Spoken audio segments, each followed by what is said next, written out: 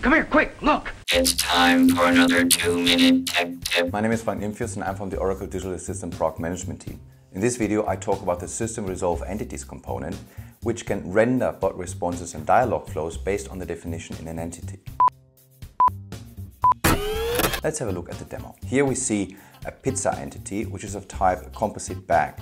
And you see it has attributes that define a business domain object. And for each of these bag items, which could be an entity or a variable, I can specify prompts, validation messages, validation behavior, and this will be picked up by the component.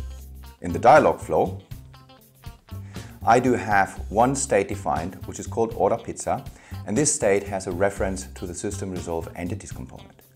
This component references a variable of type pizza. What you don't see is the important part. You don't see a state for ask pizza size or ask pizza type. Let's run this. So here I'm asked for the pizza type,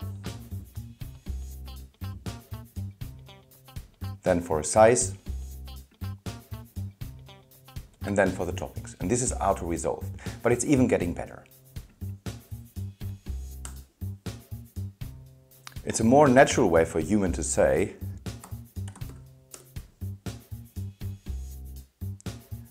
and this then continues with the flow and asks for the address where to deliver it. So what it does is it does out of order extraction. So it takes the user message and try to associate it with any entity it finds in the bag.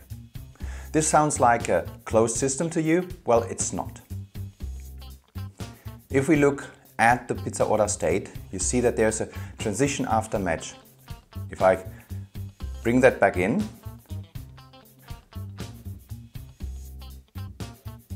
Then you see it navigates to a state where it allows me as a bot designer to interact with the entity matches.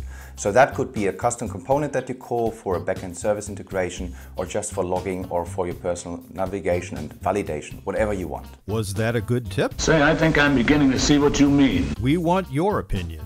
Thanks for watching and stay tuned.